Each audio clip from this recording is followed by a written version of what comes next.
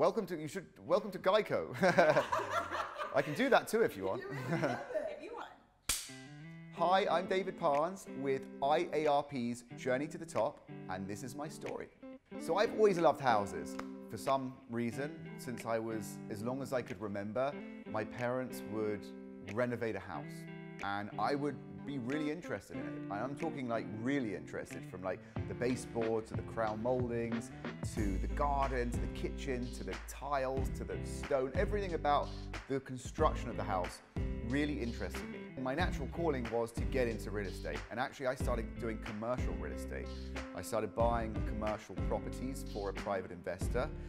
Real estate is all about relationships and yes there's platforms such as Zillow, Trulia, but the reality is the real service in real estate comes with that relationship, the negotiation, the guidance. And whilst Zillow, Trulia, and a lot of the other real estate platforms are great to look at properties on and maybe even find a property, I believe that it's imperative to have a good real estate agent representing you, especially if you're new to the game, because it's not what a client does every day, but it's what we as realtors do every day. And we can absolutely guide you and more than make up for any commissions we get by the guidance we give you.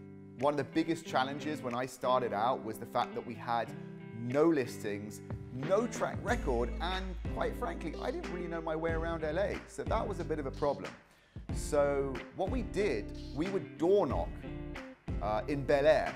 For some reason, we decided Bel Air. I, I don't know why, but I guess it worked out well because the houses are bigger and uh, one of our first deals we sold was a six and a half million dollar teardown. I attribute any success as a realtor to my team.